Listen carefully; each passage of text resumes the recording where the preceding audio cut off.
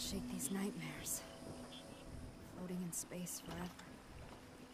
Just why?